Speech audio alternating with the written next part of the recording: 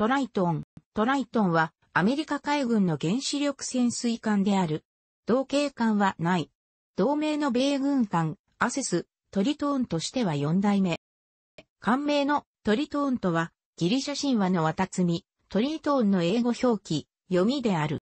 収益、1959年11月10日から1961年2月28日までの約1年4ヶ月弱は、レーダー紹介潜水艦 SSRN、1961年3月1日からは、1969年5月3日の予備役編入を経て、1986年4月30日の除籍まで約25年間は攻撃型潜水艦 SSN に分類されていた。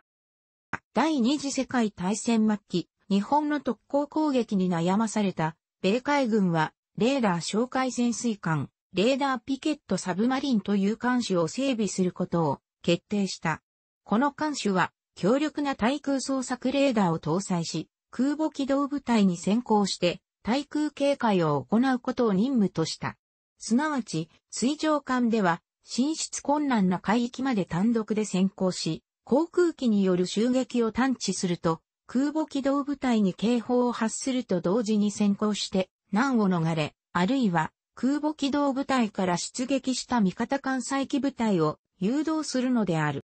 この任務の特性上、トライトンには強力な対空レーダーと CIC 機器が装備された。また、空母機動部隊に随伴する必要があることから、源泉としては他に例を見ない異例の水上高速力が要求され、原子炉2基を搭載するという設計が取られた。この結果、当時としては空前の大型艦となり、特にオハイオ級の収益まで本艦の全長をしのぐ潜水艦は米海軍にはなかった。しかしながら、その運用構想は時宜を得ることなく、1961年3月1日には攻撃型潜水艦に種別を変更されることとなったものの、その巨体と時代遅れの水中性能にはもはや活かすべき道がなかった。一時は各戦争時の最高首脳部の移動指揮所に改装する案も検討されたが実現を見ることはなく、1969年5月3日の予備役編入をもって約9年6ヶ月の短い現役生活を終えた。作戦艦としては最後まで適所を得られずに終わったので、ある。このように、実役務においては不運に終わったトライトンの名を記憶に、留めるのは、マゼラン作戦の成功においてである。大航海時代の航海者、フェルディナンド・マゼランにちなんで命名されたの作戦は、その名の由来となった人物の業績と同じく世界一周、それも潜水艦が一度も浮上することなく全工程を完走することを目指すものだった。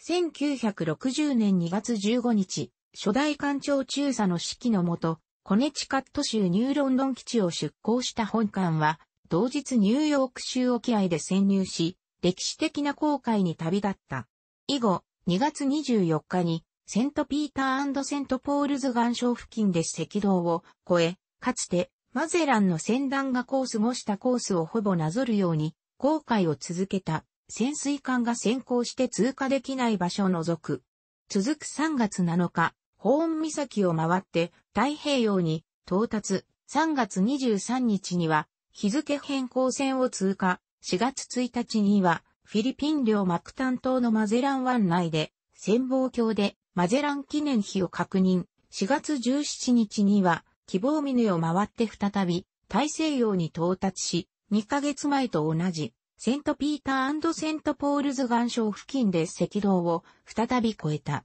この時点で26,723海里を60日と21時間、平均速力18ノットで完走し、先行世界一周を達成した。さらに航海は続き、5月2日には、セール東部のみを海面上にロイタきして、米駆逐艦と会合、スペイン政府に送る名板を引き渡した。この後、名板はスペイン政府に送られ、マゼラン船体の出発地、寄港地であるサンルカルでバラメダシの成長に飾られている。5月10日、デラウェア州沖で、ついに本艦は浮上。この時点での記録は連続潜航時間83日9時間54分、公開距離35,979海里に及び、潜航時間の世界記録を樹立した。これは、赤道付近での自己記録の更新でもある。5月12日、母港に、気筒の時点で、36,335海里、84日19時間8分の無機構無補給最長記録をも樹立した。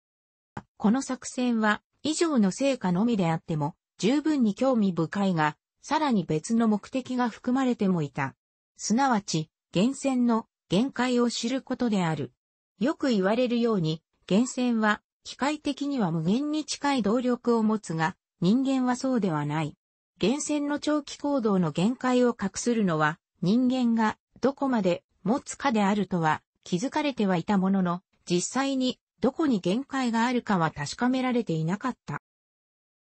そこで、この航海には、海軍の心理学者が同行し、長期にわたる閉鎖環境に置かれ、変化のない日々の中で、ルーチンワークをこなさなければならない乗員の士気を調査したのである。それによれば、60日を境に、士気は低下の一途をたどり、向上することはなかったという。この数字は、平時における源泉の紹介期間の上限の決定において参考にされたものと考えられている。